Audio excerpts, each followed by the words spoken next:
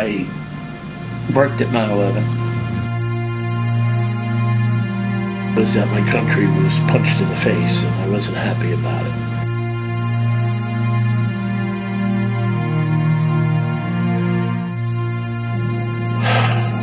It was a sight that I never expected to see in my city. And I couldn't imagine, for the love of me, what possessed these people to do this. It was a life-changing experience for me.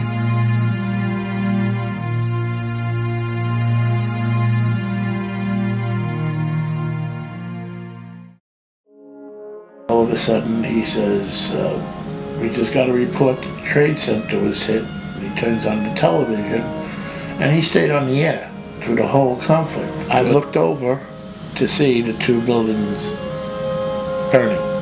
My mind was my family, because my ex-wife and my brother-in-law and other friends were working down there. My brother-in-law worked down there.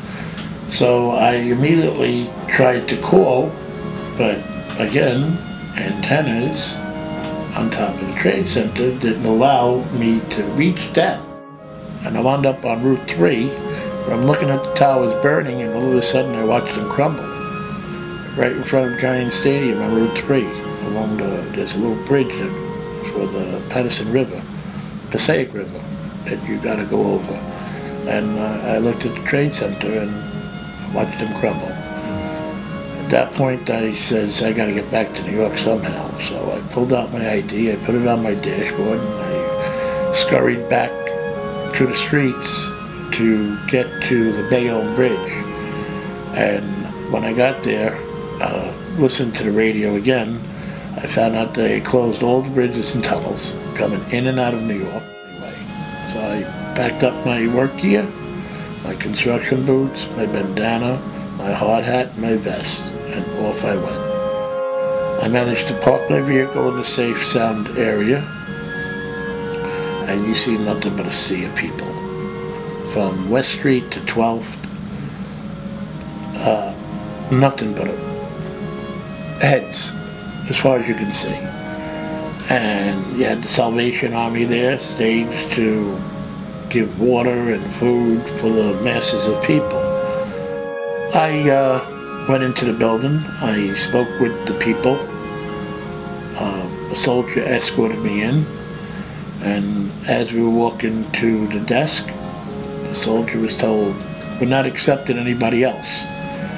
Now the line that I was on, I was on for about an hour to get into the place. And then to hear that, and you're standing next to the soldier, and I pointed, that means me? He says, no. And he said to the soldier, he's the last one.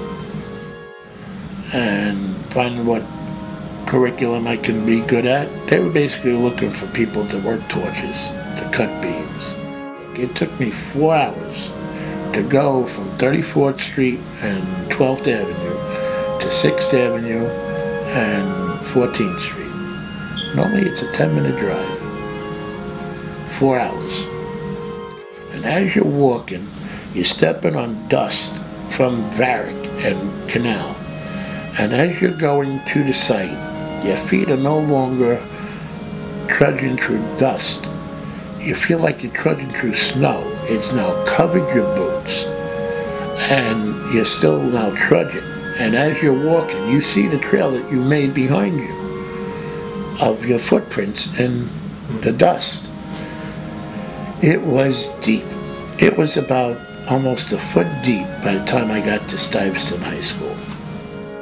And as I'm walking there, again, it's now getting deeper. It's almost a foot and a half deep of dust that we're walking through. So we're trudging through that, seeing the uh, debris of the tragedy. And I'm looking at fire trucks twisted like a child went berserk on a little Tonka truck. I'm looking at police cars squashed like pancakes. I'm looking at fire engines that are torched and just cindered. And it wasn't just you seen one, you seen dozens. So I yelled out to the chief, I says, uh, can I tag along? He says, yeah, why not? And all I needed was a glove. So I got myself a pair of gloves and a bottle of water and a flashlight. And I pursued into building six. And going into building six, I uh, searched for them, the whole lower core of the trade center. At the last one, the grotto illuminates, revealing the cross. I was so overcome with the sight of the cross that it brought me to my knees in tears because I was taken by the whole experience, seeing the devastation of the trade center, going through the pilgrimage of going there, and uh, seeing my country attacked. I looked at this cross and in somber and tears. I, I it still gets me to this moment. It revitalized me. It allowed me to pursue and persevere. And I was overcome by what I had seen. And uh, we couldn't see it at night. We weren't looking up. We were looking down. And as we were looking down, you know, you're looking at structures all over you and you didn't take notice of it. But as you've seen it where it stood, as Barbara Walter says, it was one of the most beautiful sights I ever saw. And I do forgive, but I can't forget. And I will never forget 9-11. I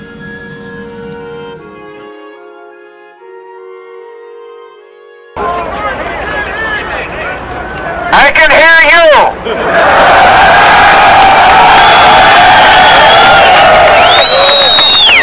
I can hear you, the rest of the world hears you, and the people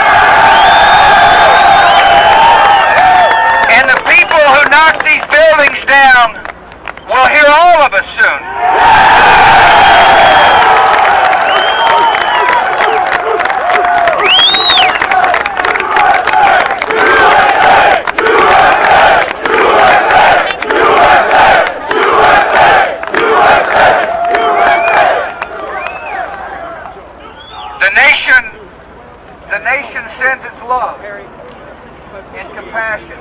God bless America! To everybody who is here. Thank you for your hard work.